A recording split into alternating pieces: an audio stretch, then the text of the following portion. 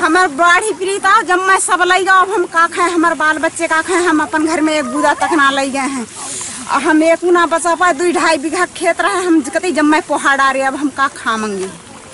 हमार तो कती कछू ना रहेगा हम तो हाथ धोए के बैठ रहे। हम एक बूदा अपन घरे ना ले गए हैं तो हम का खामंगे? अब हम कहाँ जाए? कहाँ बैठे का खाए हम जी हैं का अपन बच्चन के खवाए हैं हम तो मरी गए अब से। खेत हमार ढाई बीघा है हमार ढाई बीघा को एक बूदा ना हम ले गए हमार जम्मे कतई जम्मे जा बाढ़ी अब की जम्मे ले चलोगा। वात्सल्य नेचुरल आइभीएफ आधुनिक चिकित्सा उच्च सफलता दर अन्तर्राष्ट्रिय स्तरको उपचारद्वारा सन्तान प्राप्ति सम्भव छ। एक दाना ना समेटे हैं कतई हम। ढाई बीघा को धान अबे हमर और हमर वो उते के जम्मे पुही गयो और जाई तक जा जम्मे पुही गयो जा जा धारै धार जा जम्मे पुही गयो पानी परेको त एकतिस गतिदेखि नै हो। अब सबैले मुठा बाँधि सकेका थिएन मुठा बाँध्दै गर्दा अब कोही पानी पऱ्यो घरमा सुकाउने ठाउँ छैन। अनि त्यसपछि के गर्ने भन्दाखेरि अब मुठा बाँध्दै अब जम्मा गर्दै गरेँ। यस्तो बाढीको त कसैलाई पनि याद भएन नि त। अब अहिले आएर बाढी आएर सबैजना जम्मा गरेको सहित बगाएर लग्यो कि मुठा बाँधेको त लगे लगे नबाँधेको त झन् सजिलै बगायो। जो थुपारेको राखेको नि। नै थियो।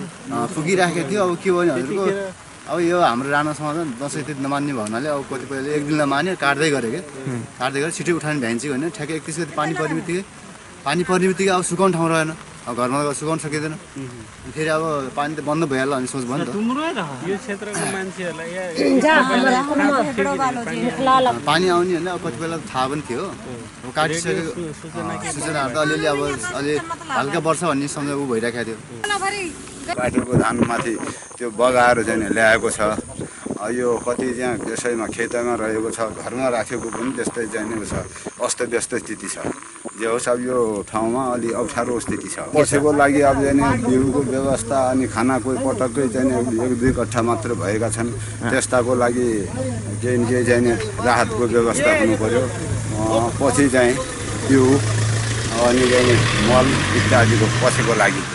त्यो सब कति रहन्छ यो केही छैन। अब दुई तिन दिन अरू रहन्छ भने छ। यहाँ अब आज हामी क्षेत्रीयदेखि लिएर हाम्रो पत्रकारज्यू लगायतदेखि लिएर हाम्रो मन्त्रालयको सरहरू के अवलोकन गरिरहेका छौँ। अब यो बहुत क्षति भएको हामीले देखिरहेको छौँ।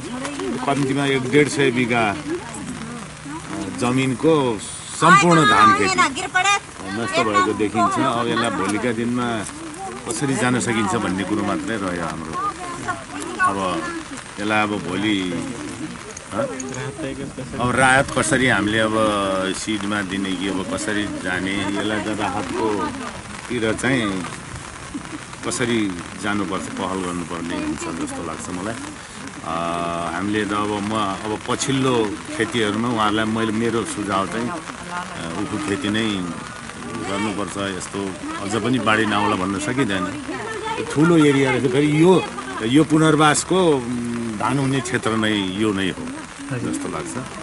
अब हामी अहिले अवलोकनकै उसमा छौँ अब हामी यसपछि बेलौरीतिर पनि जान्छौँ बेलडाँडी बेलौरी हुँदै। राहतका कुराहरूलाई हामी अगाडि बढाउँछौँ। कस्तो हुन्छ? नेपाल सरकार अथवा प्रदेश सरकार स्थानीय सरकारले के कति पहल गर्न सक्छ? किसानको धान खेती डुबान कटान चौपट पारेको छ। म सङ्घीय सरकार प्रदेशको सरकारलाई पनि आग्रह गर्न चाहन्छु। अब यहाँ भोकार वर्ष सुरु भयो। यसलाई तिनै तहका सरकारले व्यवस्थापन गर्नुपर्छ।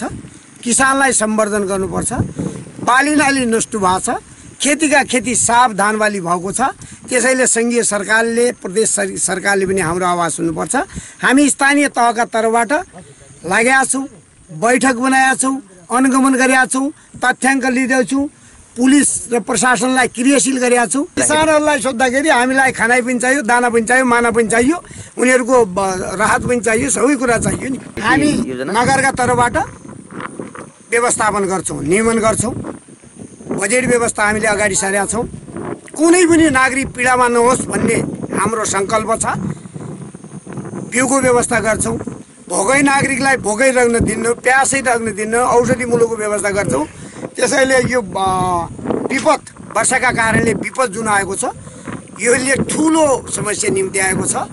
हामी नगरका तर्फबाट बाह्रैवटा वडाभित्र नगरभित्रका नागरिकलाई अब यो यस्तो आपतकालीन अवस्थामा संवेदनशील भएर सम्वर्धन संरक्षणका लागि अगाडि बढेको छ।